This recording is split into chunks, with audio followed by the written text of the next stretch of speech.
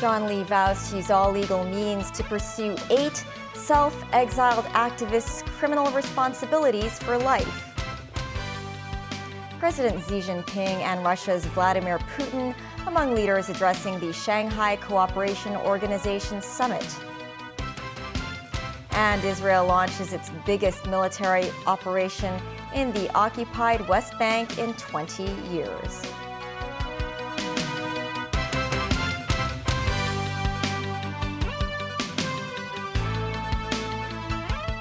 Hello and welcome to TVB News. The National Security Department of the Police has issued arrest warrants for eight self exiled activists on suspicion of endangering national security, with $1 million rewards for information leading to their arrest. Today, Chief Executive John Lee voiced his support for the police action, saying authorities will be pursuing the fugitives' criminal responsibilities for life. Sharon Tang has our top story.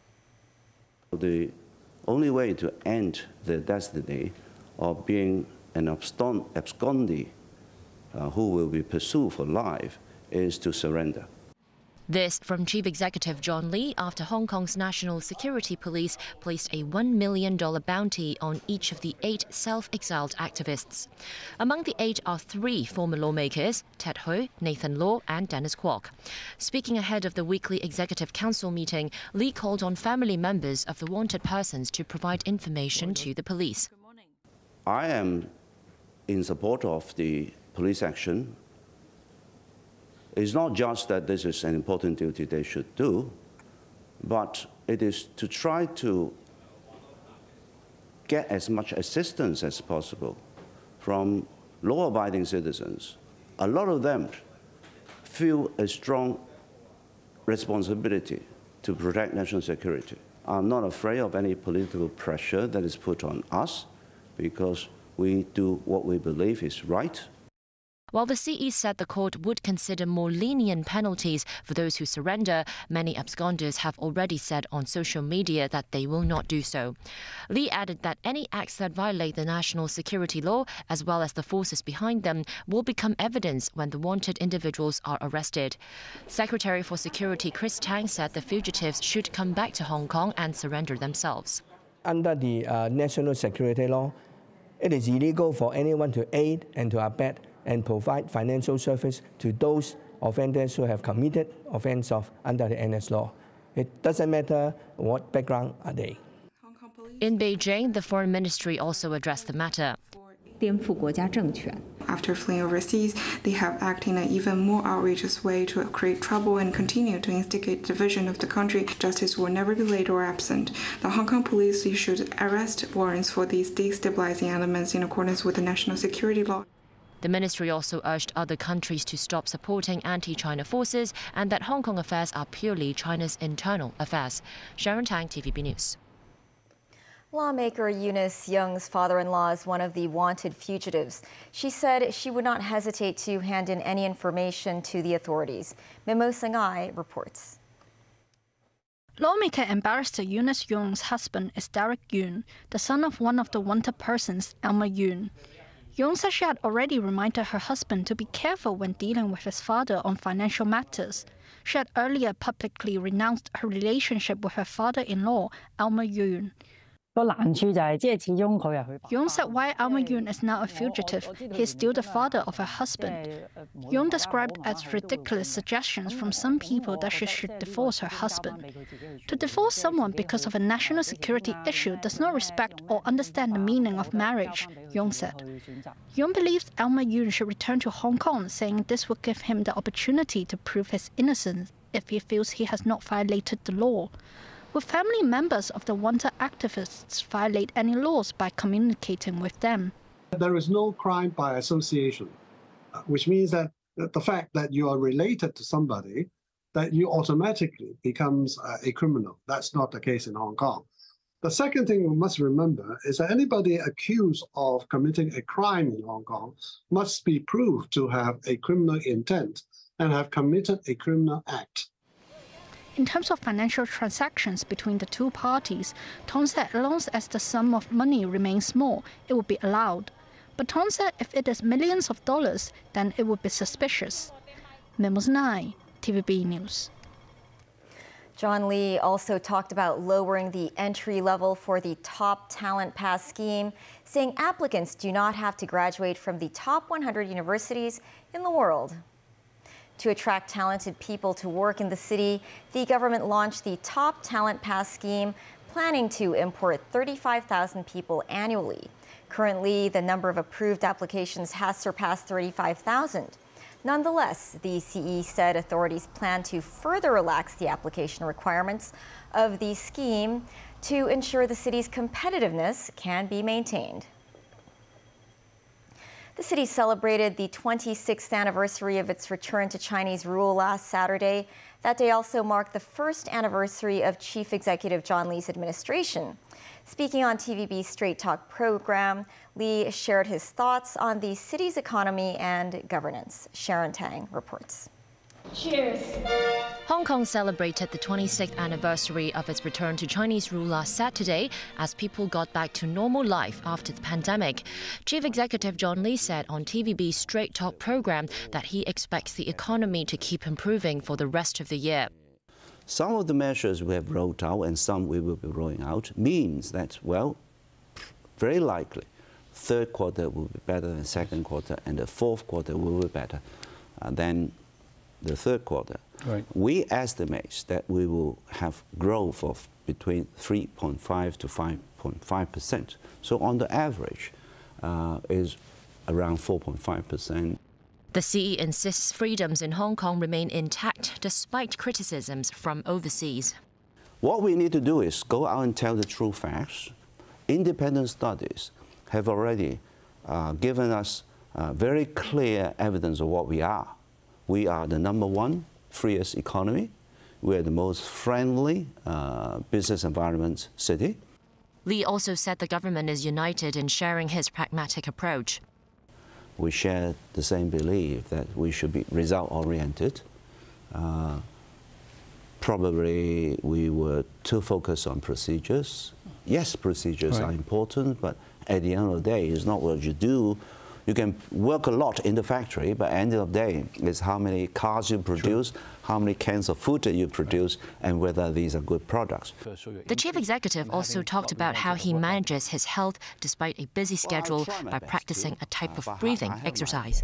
I have been telling people that I'm practicing Qigong. Qigong has the advantage of uh, allowing me to recover right. uh, using even very short period of time. So people sometimes associate with medit meditation, but it's more than meditation. Right. Sharon Tang, TVB News. President Xi Jinping has urged Shanghai Cooperation Organization members to focus on pragmatic cooperation to speed up economic recovery. He made the call in Beijing while addressing the SCO summit via video link. SCO leaders, including Russian President Vladimir Putin, attended the online summit hosted by India. It marks Putin's first appearance at an international event after a short lived mutiny last month. Putin said the Russian people were united as never before while thanking the SCO nations for supporting his authorities during the mutiny. At the summit, Iran was accepted as a member, while Belarus is expected to sign a memorandum of obligations that will lead to its membership later. China is set to impose export restrictions on eight gallium and six germanium products from August 1st to protect national security. Analysts see the move as a response to escalating efforts by the United States to curb China's technological advances. It also comes just as Washington announced Treasury Secretary Janet Yellen will visit Beijing on Thursday.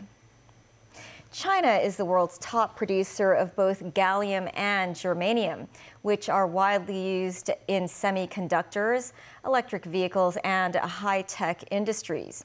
According to the Chinese Foreign Ministry, the export controls are in accordance with law and are not targeted at any country. Analysts said the new measures look set to tighten overseas supply and push up prices for buyers in the near term. It comes as Washington considers new restrictions on the shipment of high tech microchips to China following a series of curbs in recent years. At least 10 Palestinians have been killed and hundreds wounded after Israeli forces hit the refugee camp in Jenin with drone strikes during an overnight operation. Hundreds of Israeli troops entered the city in the occupied West Bank as gun battles raged for a whole day. Around 3,000 people have fled the area, with Israel saying the operation may last up to two days. Nazvi Karim with more.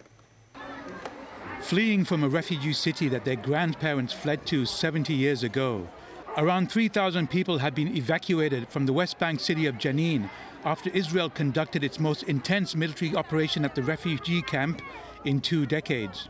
Israeli officials said the military is close to completing its objectives after a raid involving hundreds of commandos backed by drones. The goal was to destroy what they say are Iran backed Palestinian armed factions responsible for a recent surge in gun and bomb attacks. Islamic Jihad said they lost four members, while one of the dead belonged to Hamas, the party that governs the Gaza Strip. The dead were aged 17 to 23. Israeli Prime Minister Benjamin Netanyahu said Jenin has become a haven for terrorism in recent months, and his forces are putting an end to it. Around 14,000 people live in the refugee camp, an area less than half a square kilometre. The camp was formed in 1953 to house Palestinians expelled from their homes during the 1948 war. So far in 2023, Israel has destroyed 290 structures in the occupied West Bank, displacing families, while settler violence has also increased. Jordan, Egypt, and the United Arab Emirates, along with the 57 nation Organization of Islamic Countries, condemned the raid. At the UN, spokesperson Farhan Haq read a statement from Middle East coordinator Tor Wennesland.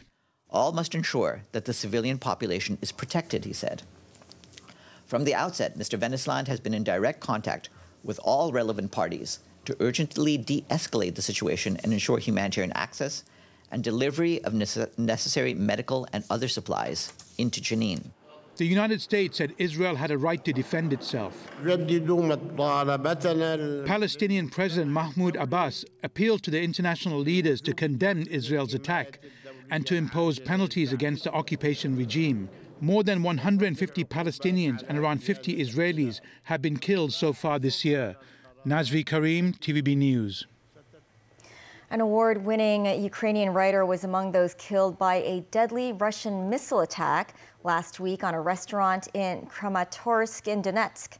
37 year old Victoria Amelina, a writer of novels and children's books, was in the restaurant frequented by journalists when it was hit.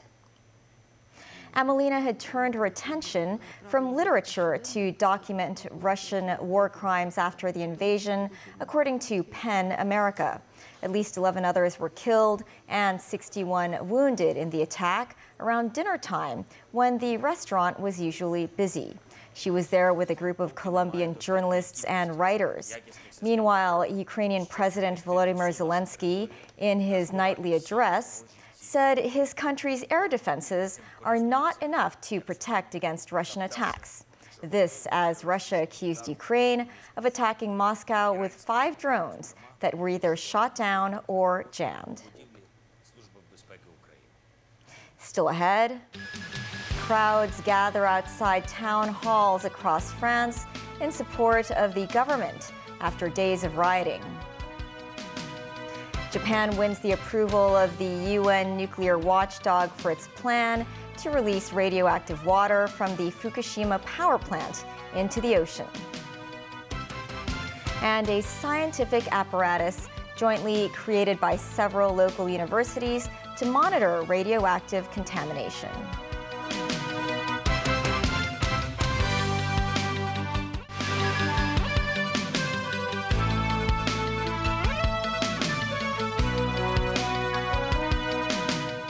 Welcome back. In France, crowds gathered outside town halls across the country to show solidarity with local governments. This after a wave of rioting triggered by the fatal shooting of a 17 year old driver of North African descent by police a week ago.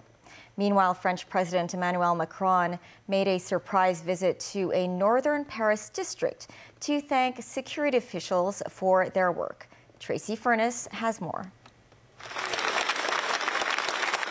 Hundreds of people gathered in a southern suburb of Paris, L'Haÿ-les-Roses, to support Mayor Vincent Jeanbrun after rioters crashed a burning car into his home Sunday, injuring his wife and one of his children. Chers amis de Rose et d'ailleurs, the mayor thanked the crowd for their support and solidarity, as well as those gathered in front of all city halls across France. He also slammed the rioters who attacked his family, calling them assassins, but went on to praise his wife for saving his son and daughter from the flames.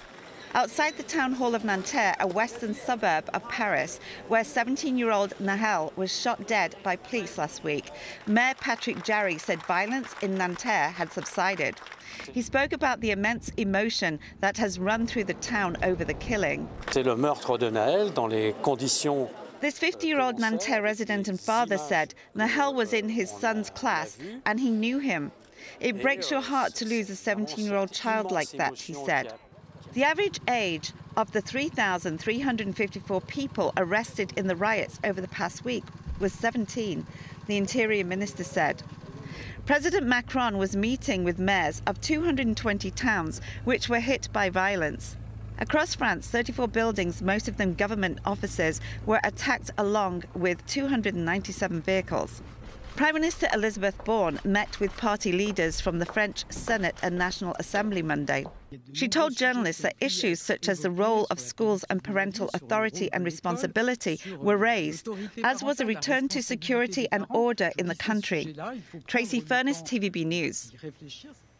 Japan has won approval from the UN's nuclear watchdog for its plan to release treated radioactive water from the tsunami wrecked Fukushima nuclear power plant into the ocean. That's despite fierce resistance from neighboring countries and some local residents. International Atomic Energy Agency, IAEA, Chief Rafael Grossi began a four day visit to Japan Tuesday when he met with Prime Minister Fumio Kishida, delivering the results of the agency's two year safety review.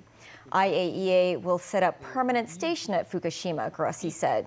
This as neighboring countries and some locals oppose the action. In Beijing, the foreign ministry expressed regret over the hasty release of the UN nuclear watchdog's report on Japan's plan to release treated radioactive water from the tsunami wrecked Fukushima plant into the ocean.